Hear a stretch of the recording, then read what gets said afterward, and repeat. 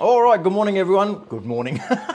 what a, what a, I'm still got that in my head. I don't know why I say good morning. I'm just going to stop saying good whatever, you know. good evening. Good evening, everyone. Good to be with you tonight. Good to be back doing the devotions. Thank you for your patience. Thank you for um, thank you for your prayers and all that in regards to the old voice doing a lot better now. So uh, appreciate that. But excited to get back into it. So uh, hope and pray that you're looking forward to that. Um, hope and pray you had a great day yesterday in church. And uh, hey, John, good evening. John and Bronwyn, good evening. I hope you had a great day in church yesterday, folks, uh, wherever it was that you worshipped. Hope and pray that all was good. Jean, good evening. And uh, I'm grateful for our church. I love our church and uh, just excited about what God is doing. Loren, good evening. Pond family, good evening. excuse me, very, excuse me. Got to get the old frog out of the way. Um, yeah, we had a great day yesterday. Excited about what God was doing. I was praising God at um, that young lady, Kayla, getting saved on the way to church. Praise God for that, man. And then, of course, we had Clarence visiting with us yesterday who said he was coming back. Judy, good evening. So we had a great, I believe we had a great day all around, but then I could be a little bit biased. Known to be that. All right, let's get into it tonight. Let's go to the Gospel of Luke. Gospel of Luke.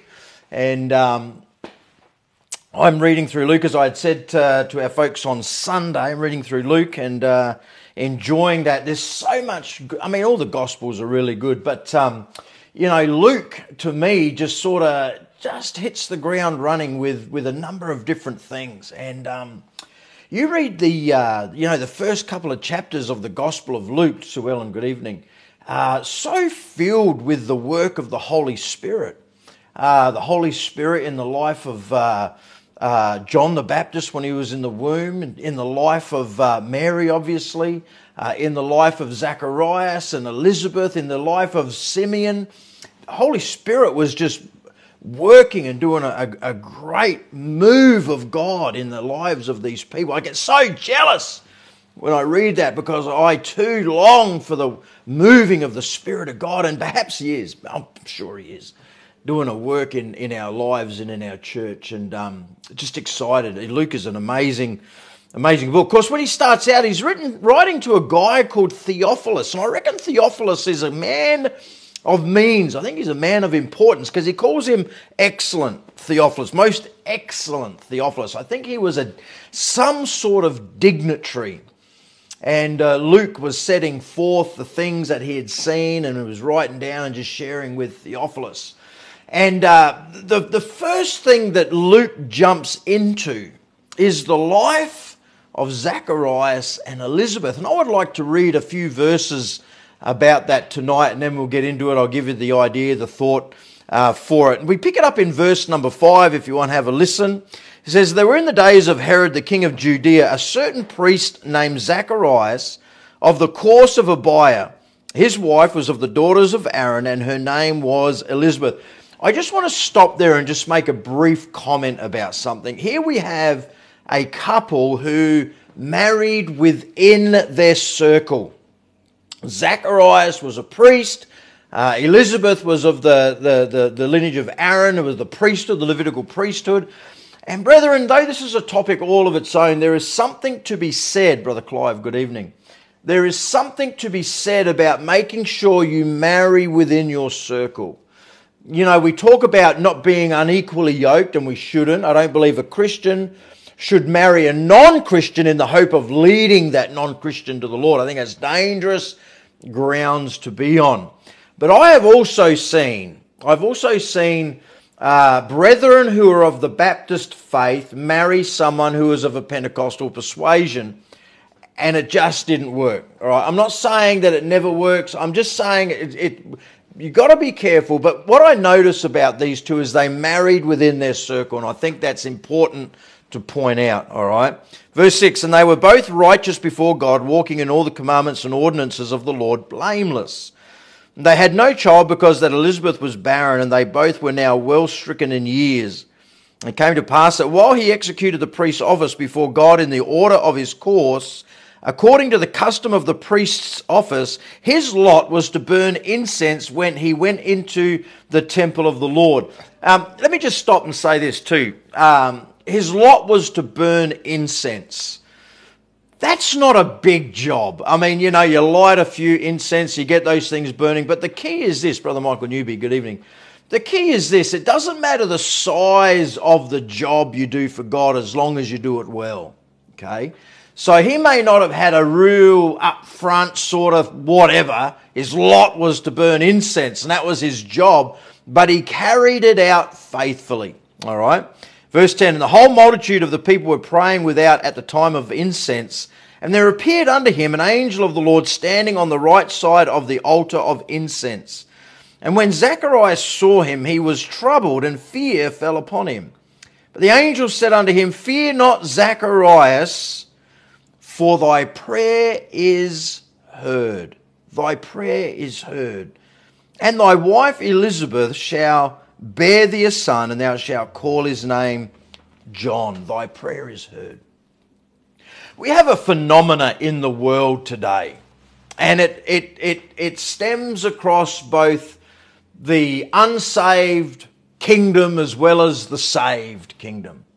The phenomena is quitting quitting. It's very easy to quit on things today. People quit on things regularly. People quit their job.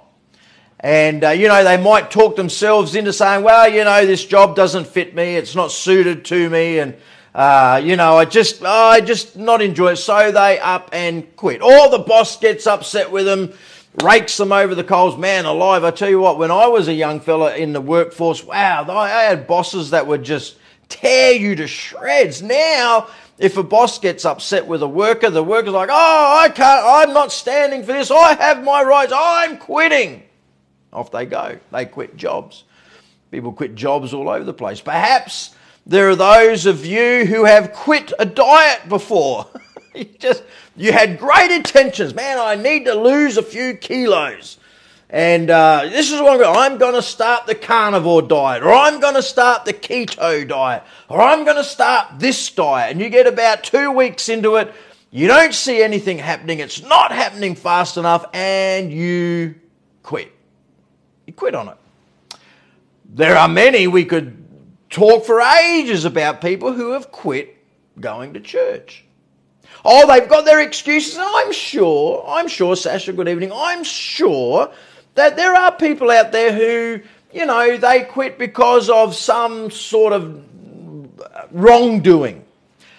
Even with that in mind, I don't think you should tar every church with the same brush and just quit on it. And I understand it. But we have a problem in the world today, and that is people quitting church. You know, uh, the, the pastor didn't congratulate me, or the pastor didn't shake my hand, or sister Mildred sat in my chair, or brother Rob didn't do this and didn't do that, and so on. And the list goes on and on. I'm not going back there anymore. I'm quitting. And of course, unfortunately, we know of instances where m- both men and women have quit their marriage. It's a very sad day where marriages aren't treated like they should be. So easy today just to quit on something. And of course, we've got the various reasons. And quitting becomes easier and easier the more you do it. Here we have a couple, Zacharias and Elizabeth, who could have very easily just up and quit. What I want to talk to you tonight is on this thought don't quit on God because he won't quit on you. Don't quit on God because he won't quit on you.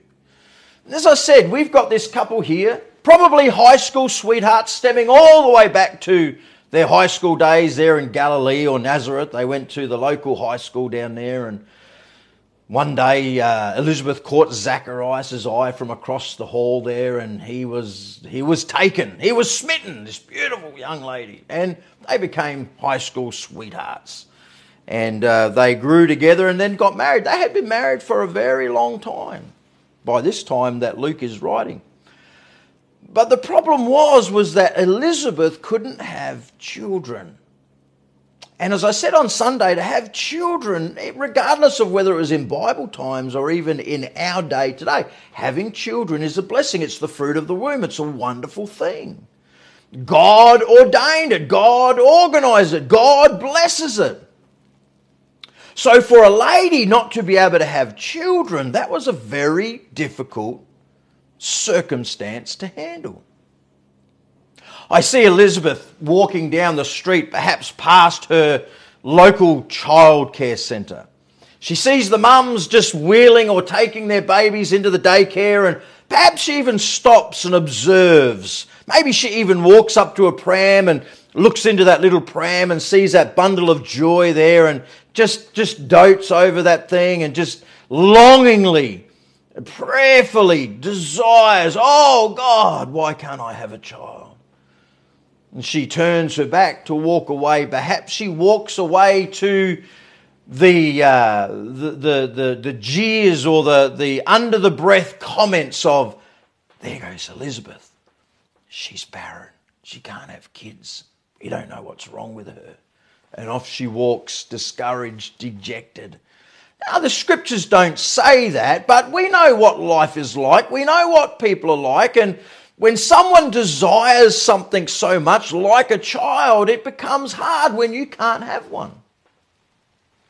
Perhaps Zacharias has gone down to the local IGA to buy some things at the local IGA, and as he's standing there in line to pay for his kosher meal and you know his uh, his uh, uh, Coke no sugar and um, you know all those wonderful things, perhaps he's getting a picnic and a Kit Kat Kit Kat for uh, Elizabeth. And as he's standing there, some of the men from the town walk up to him and uh, say, uh, Hey, Zacharias, what's going on? How come you don't have any children? What's the matter? Is Elizabeth the problem? Are you the problem? What's going on? How come you, you're not fathering? It's important that your name continues on. You must have a lineage, Zacharias. What's going on? And perhaps he leaves the local IGA dejected because his manhood is, has been trodden underfoot, called into question, wanders home dejected and discouraged. Again, the scriptures don't say that, but you know, it's like it's it could be something that, that might happen. So I would say that if we were to talk about anybody perhaps quitting, it could be that uh, perhaps even Zacharias and Elizabeth might have had opportunity just to quit on God, but they didn't quit. They didn't quit on God. They had prayed for a child. We know that because the scripture says that the angel Gabriel says, For thy prayer is heard. Thy prayer is heard. Now, I don't know. The Bible doesn't say. Perhaps they've been praying all their married life together. Maybe even before they were married, while they were courting, they were praying that God would bless them with a wonderful family. And as they started out on their marriage life, and as Elizabeth couldn't get pregnant, they prayed the more earnest. They prayed and they prayed. Maybe they got to a point in their life where they said, Well, you know, Elizabeth, you're too old now. Let's just stop praying. Obviously, it's not of God. We don't know. Perhaps they prayed right up until this very point in time, drawing upon the inspiration of ladies in the scripture like Sarah, Rachel, or even Hannah who had children uh, for Sarah in her old age. Sarah might have been the pin-up lady for Elizabeth because we know that Sarai, Sarah had a child in her late stage of life. Nevertheless, they, they prayed about it. Have you ever been praying about something and you didn't think your prayers were being heard and you just quit praying for it? Perhaps you have been drawing upon the inspiration of uh, Bible characters and you said, God, God, you did it for them, do it for me. And you, and you were claiming and claiming the promises and praying and claiming and, and a month down the track, nothing's happening and you just quit praying. Maybe even a year down the track, you were still praying, nothing's happening and you just quit praying. Regardless of how long they were praying or how long they weren't praying, Gabriel was sent and he said, Thy prayer is heard. What an encouraging word that is to know that the prayer has been heard. It's a blessing, isn't it, to know that God hears our prayer.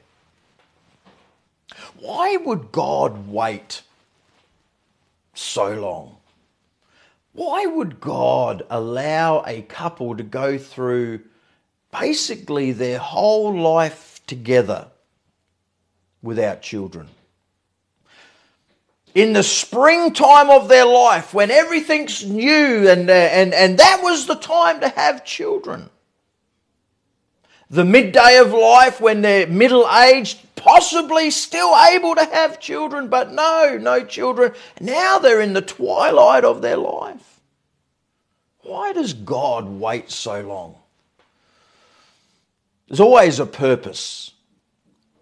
Jesus waited four days before he raised Lazarus from the dead. Why did he wait four days? Why does God wait so long?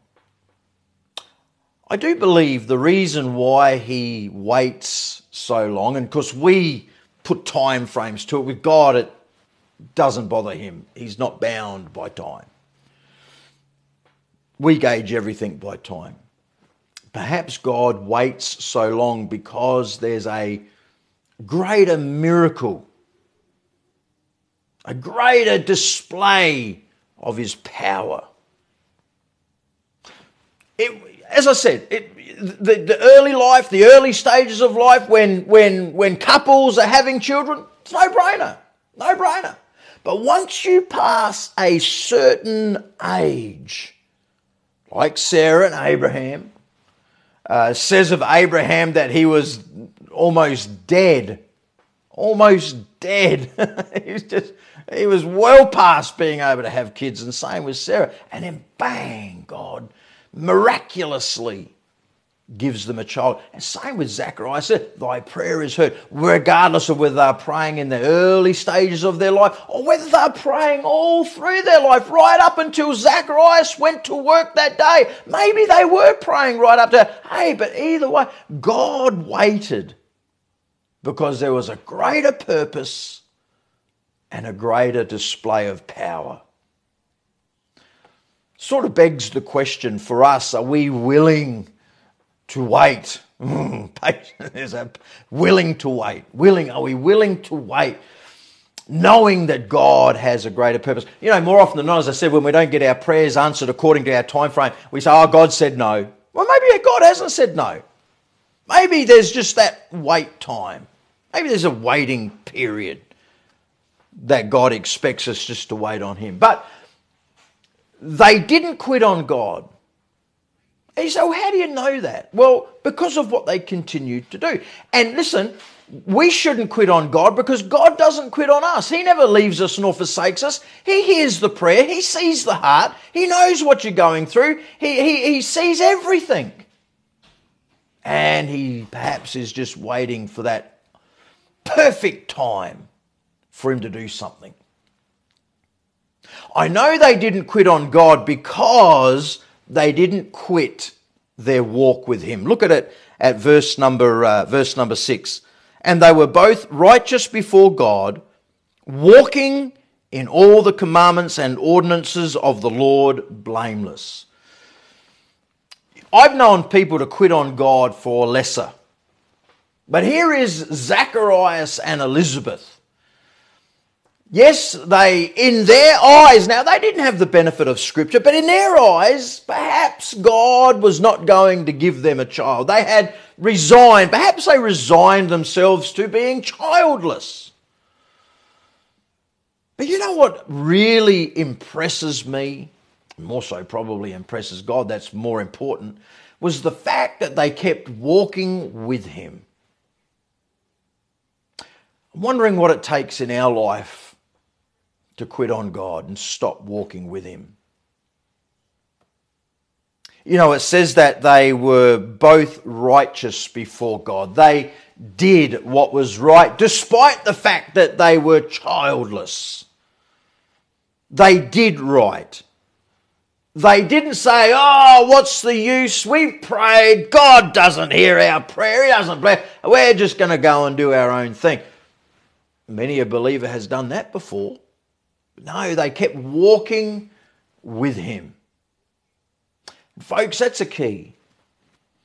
When things seemingly, and I say seemingly, when things seemingly are not going your way, don't quit on God, keep walking with Him. Keep walking with Him. Because it's during the times where we look at things, Robert and Rachel, good evening. It's during those times, uh, happy anniversary to you both, too. We've been praying for you and your daughter and your granddaughter.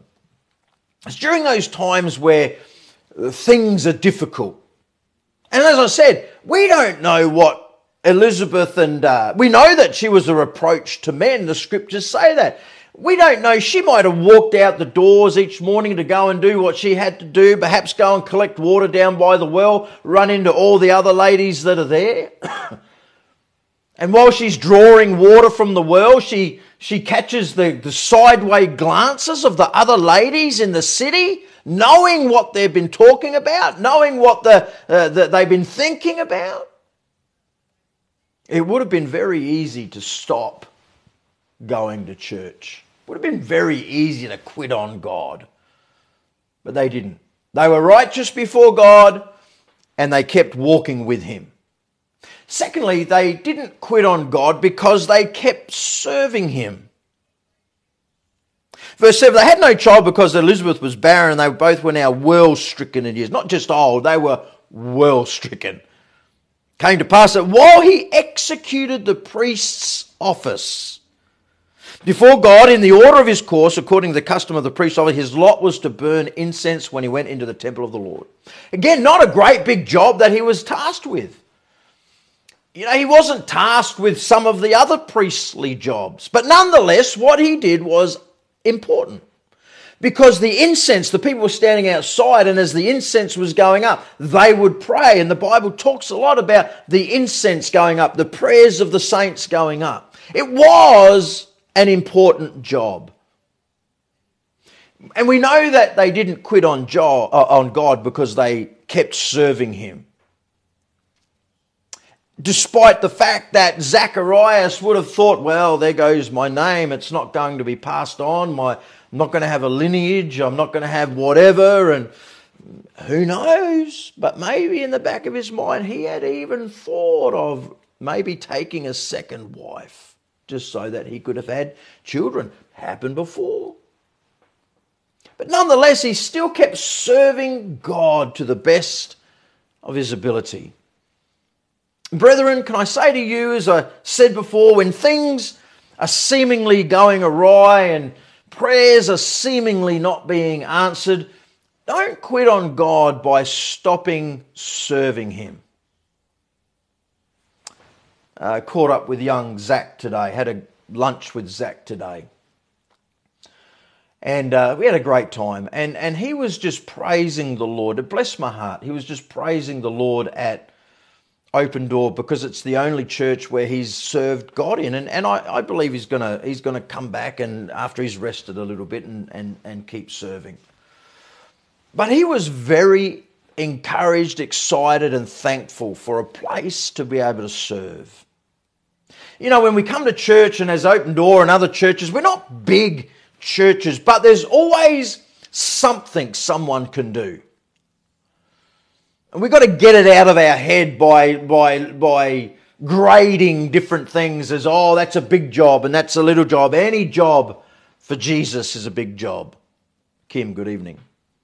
So they didn't quit on God because they didn't stop serving Him.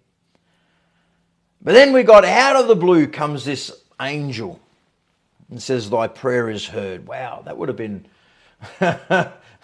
what now? when I'm, I don't know, who knows how old they were 90, 95, I don't know, they were well stricken in years. What, Lord, now I'm having a child? I'll be honest with you, I'm 55. I don't want any kids. I don't want, I don't want any babies. Change, changing Judah's nappy, wet nappies, or pooey nappies, or whatever it is. I'm, I'm over all of that. I don't want any more kids. Going through the whole schooling thing and so on and so forth. Uh, no thanks, no thanks. And here's Zacharias, uh, your prayer has been heard. You're going to have a child. Woo, glory, hallelujah. There's an important verse in this whole scenario here that really is the basis of why we shouldn't quit on God. Yes, He doesn't quit on us, we know that. But notice something that the Bible says when Gabriel was talking to Mary. Verse 36 And behold, thy cousin Elizabeth, she hath also conceived a son in her old age, and this is the sixth month with her, who was called barren. That's what she was called. There's barren. there goes barren. Verse 37 This is the basis of why we should not quit on God. For with God nothing shall be impossible. For with God nothing shall be impossible. That's the very basis of why we keep going. That's the very foundation of why we keep praying and keep serving and keep loving. And that's the base. For with God, nothing, nothing shall be impossible. God likes to take the things that with men are impossible, but not with God. Go with me to the Gospel of Mark, if you would. Gospel of Mark and which is what he says here in Mark's Gospel, chapter 10. In Mark chapter 10, Jesus was talking to the disciples about rich people getting saved. He says it's easier for a camel to go through an eye of a needle than for a rich man to get saved. Peter was somewhat perplexed by that. Verse 26 of chapter 10 of Mark. And they were astonished out of measure, saying among themselves, Who then can be saved? Jesus looking upon them saith, With men it is impossible, but not with God, for with God all things are possible. Not just in the context of salvation. We know that salvation with God is not impossible. He saves the sinner. But notice Jesus said, All things are possible. Not just saving a rich person, but that all things encompasses, here it is, all things. With God, all things are possible.